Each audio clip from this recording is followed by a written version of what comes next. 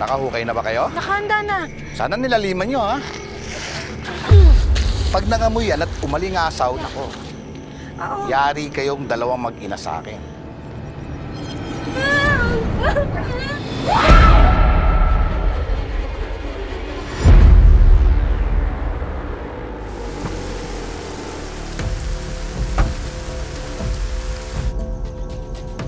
Mukhang ilang linggo kang hindi kumakain, Iha. Sige lang. Ibusin mo yan para sa'yo lahat yan. Ang bilis mong matuto, Iha. Walang aalis ng stasyon, ha? Tandaan nyo yan. Break lang pwede. Customer is always right, ha? Gwapo talaga ni Sir Dave, no?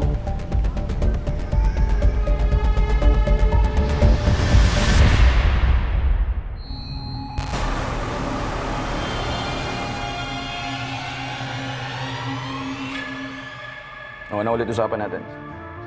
Papalayan kita sa isang kondisyon. Ay, sir. Gusto nyo bang assist ko kayo? Siya na lang. Sige, dito po, sir. Susundin mo lahat ng mga iutos ko sa'yo. Itindihan mo. Parang anak na rin naman talaga ang turing ko sa'yo. Bakit inumaga ka naman ng uwi?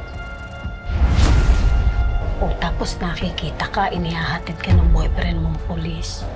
Tawagan mo ka mamaya, ha? Ina, wag mo na akong gagampalain pa. Kung hindi, babalikan kita at ako naman ang manininga sa'yo.